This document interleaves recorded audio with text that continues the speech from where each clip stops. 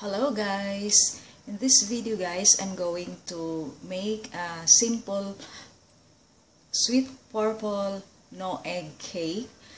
I will mix only uh, wheat flour. This one is wheat flour and powdered milk and a little amount of sugar.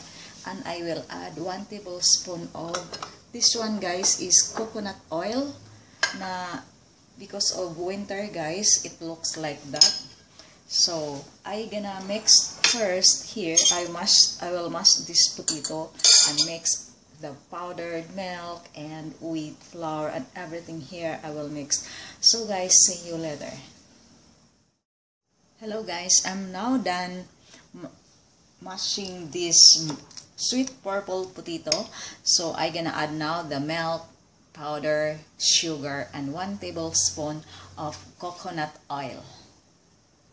See you later guys after mixing this all. Hello everyone, uh, I'm back and I'm done everything guys here. I mixed all the dried ingredients and yes guys, I forgotten to tell you I added an amount of water because you cannot mix all the dried ingredients without water and I added this um, 2 tablespoon of coconut oil. So, let's gonna transfer here in a Pyrex. I put already this, uh, this is coconut oil. That's why the color like that. Because the oil is still sleeping. So, I gonna transfer here guys. I already set the oven.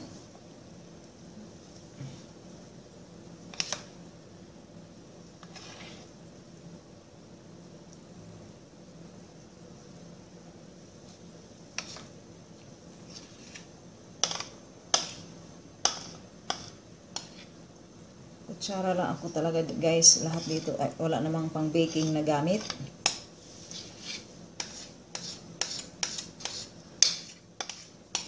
So mano mano lahat.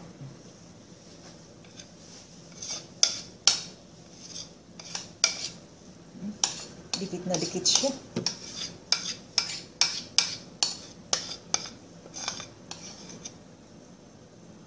It's like an ice cream looks like. It really it looks very good the color guys. I like purple color. My favorite one. Hmm. okay. hindi ko masyadong masaido lang spatula.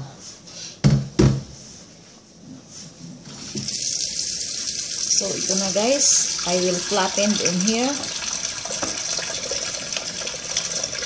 make it even.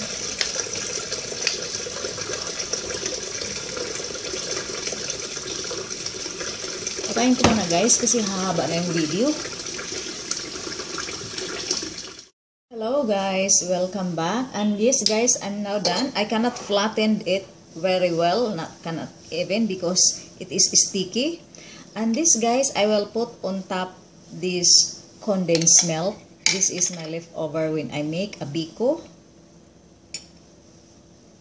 So, I gonna put on top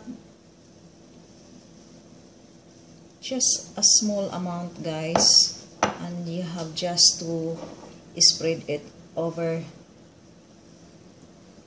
here. It's sticky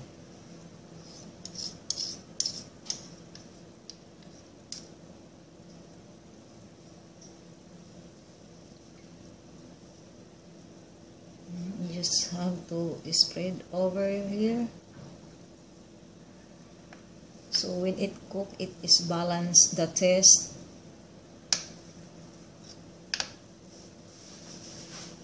Next time I will try to buy a spatula. If I can found, find spatula in Senju City. So I can even I can flatten it nicely.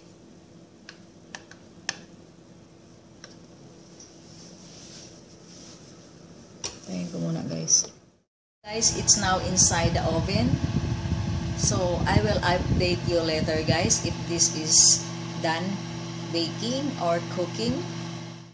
Hello guys, I'm back and now guys, it's now done. The vegetarian sweet purple cake looks so yummy at nakikita nyo naman guys, nagbibiak siya. It means sa inside, sa loob, ay cook na talaga siya. So guys, ito na yun. See? I will make a mukbang of this guys with a separate video para hindi siya masyadong mahaba. Ayan na.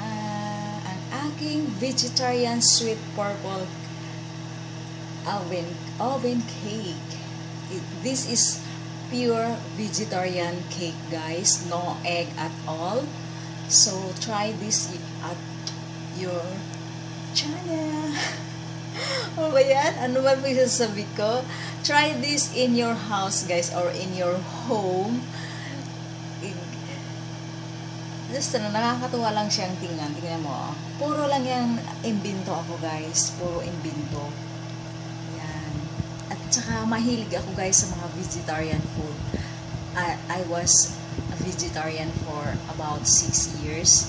So, mahilig talaga ako magluluto ng mga pang-vegetarian. So, yan na yan, guys. See?